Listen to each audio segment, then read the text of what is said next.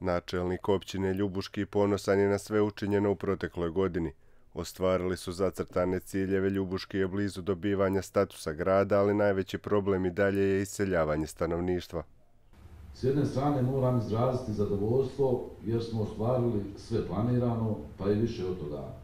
Ljubuški neosporno postaje uređeniji, ljepši, dobiva potrebne sadržaje, imamo sve bogatiji, sadržajni kulturni život, šport, nastavlja nizati uspjehe, ulažemo u socijalne programe, projekte zaštite okoliša, odnosno zaštite ove prekrasne prirode, blago raste broj uposlenika, ima i novih investicija, poljoprivreda pravi pozitivne iskorake, s turizmom definitivno postajemo prepoznatljiva destinacija. Što bi naš narod rekao, sve lijepo, krasno, ali dio naših sugrađana i dalje odlazi i to je ono što nas zabrinjava, opterećuje, svjesni da nema jednostavnih, brzih rješenja, pogotovo u ovakvom političkom ambijentu u kakvom živimo i radimo.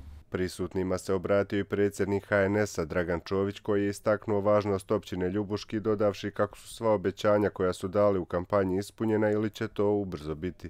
Neka grad Ljubuški bude jedan od najvrijednijih vrhova dijamanta hrvatskog naroda, a daj da mi svi zajedno s jednom velikom snagom, zajedništvom, sinergijom pomognemo da ovo bude mjesto izuzetnog stvaranja ambijenta za život prije svega mladih ljudi i bit će onih koji će uvijek odlaziti, ali ajmo mi stvoriti ambijent da niko nema razloga zbog vrijednosti ili nekvaliteta života ovdje odlazi iz našeg Ljubuškog i uopće iz naše Hercegovine i Bosne i Hercegovine. Znači sve ono što trebamo danas uraditi je brinuti za svoj dom i za svoju domovinu, zato imamo sve preduvjete i ovih dana, kažem, pokazali smo praktično da se u Bosni i Hercegovini apsolutno ništa ne može desiti, a da u tome ne učestvije hrvatski narod.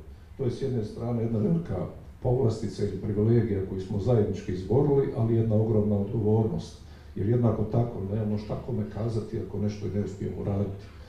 Ja sa svoje strane učinit ću sve da zajedno sa suradnicima, evo dosta ih i ovdje sjedi sa najrazličitih razina vlasti, od državne, izvršne zakonodavne, entitetske, županijske, učinimo sve da vam budemo potpora, da vi svoje planove možete ne ostvariti ove koje smo dali i planirali zadnjih par godina, pa trebamo realizirati u naredne dvije ili tri godine, nego mnogo bržim iskorakom, pratiti sve ono što su danas trendovi u svijetu. Na današnjoj svečanosti potpisan je i ugovor o suradnji između općine Ljubuški i Građevinskog i agronomskog fakulteta Sveučilišta u Mostaru.